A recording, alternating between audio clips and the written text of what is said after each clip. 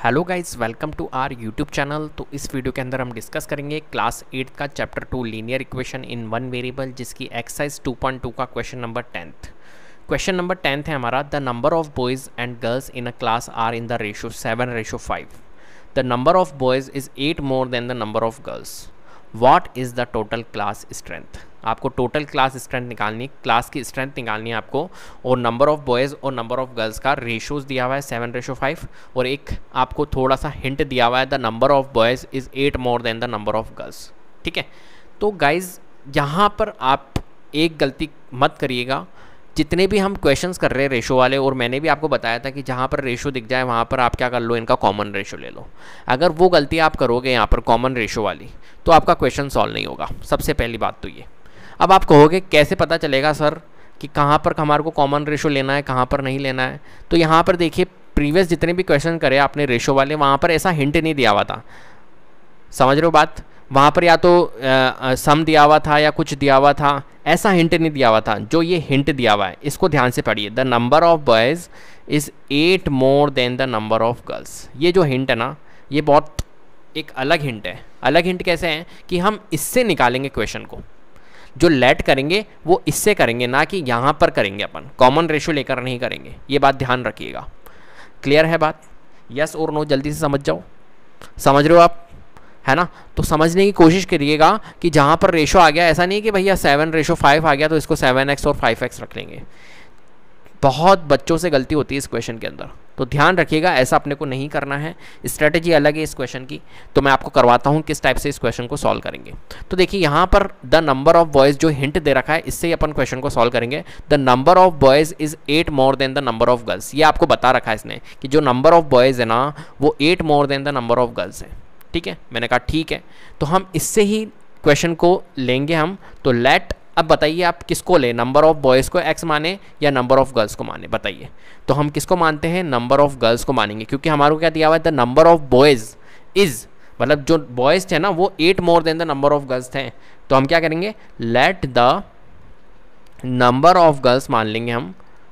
Let the number of girls be x then number of boys will be कितने? The number of boys eight more than number of girls तो कितने हो जाएँगे? X plus eight हो जाएँगे। Clear है? Number of boys कितने हो गए हमारे? एक्स प्लस एट हो गए। समझ रहे हो ना बात को? अब देखो यहाँ पर। अब क्वेश्चन में क्या किया? अब सम, अब समझो देखो। इतना अपन ने क्लियर कर लिया। अब देखो the number of boys and girls in a class are in the ratio seven ratio five ठीक है? अब यहाँ से स्टार्ट होगा शुरू, खेल। अकॉर्डिंग टू क्वेश्चन क्या लिखा हमने? अकॉर्डिंग टू क्वेश्चन अब अब चल रहे हैं हम, कोई दिक्कत नहीं है। अब जो सेवन रेशो फाइव है ना, अब मैं आपको थोड़ी सी चीज़ बताता हूँ। देखो, अगर मैं सेवन रेशो फाइव है, क्या इस सेवन रेशो फाइव को मैं सेवन अपॉन फाइव लिख सकता हूँ? आप कहोगे, जी हाँ सर, लिख सकते हो। ठीक है? रेशो का सही मतलब ही डिवाइड होता है, ये बात ध्यान रखना। अगर मैं ऐसा लिख रहा हूँ ना वन रेशो टू इसका मतलब ये भी है कि वन अपॉन टू अगर मैं आपको बोलता हूँ थ्री अपॉन फोर तो आप थ्री अपॉन फोर को ऐसे भी लिख सकते हो थ्री रेशो फोर समझ रहे हो? तो रेशो और डिवीज़न ये क्या होता है हमारा? सेम होता है। इस बात को ध्यान रखिएगा। क्लियर है बात? अब देखिए, यहाँ पर जो सेवन रेशो फाइव लिखा हुआ है, ये एक तरह से सेवन अपॉन फाइव के फॉर्म में लिखा हुआ है। तो यहाँ पर जो लिखा हुआ है number of boys and number of girls का रेशो दिया हुआ है ना तो हम लिखेंगे नंबर ऑफ़ बॉयज़ ठीक है? डिवाइडेड बाय रेशो दिया हुआ है, या डिवाइड में लिखो, बात एक ही नंबर ऑफ़ गर्ल्स ठीक है? अब नंबर ऑफ़ बॉयज़ बताइए नंबर ऑफ़ बॉयज़ कितने थे? सेवन तो मैंने लिख दिया ये सेवन रेशो में है ये, ध्यान रखना नंबर वैल्यू नहीं है। ये रेशो इसलिए तो लिख रहा हूँ मैं डिवाइड में। और नंबर ऑफ़ गर्ल्स कितना है?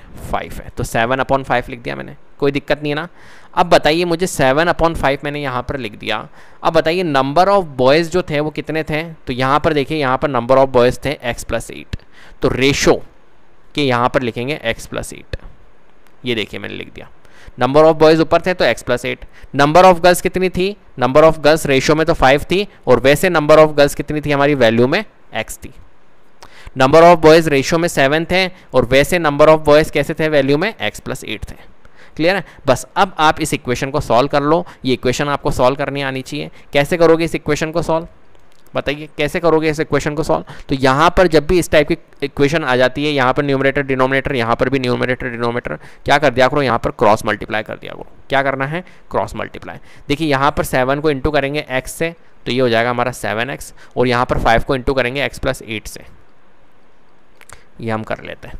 ठीक है? तो यहाँ पर अब हमारा हो जाएगा सेवन एक्स और फाइव को इंटू करेंगे एक्स से तो फाइव एक्स और फाइव को इंटू करेंगे एट से तो फोर्टी क्लियर है बात?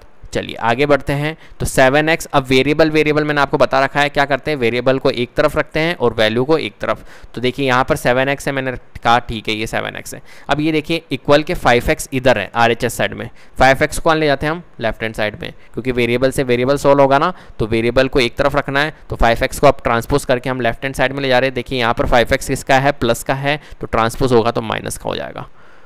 ठीक है? हो गया ये? इज़ इक्वल्स टू ये यहाँ पर फोर्टी है। ठीक है?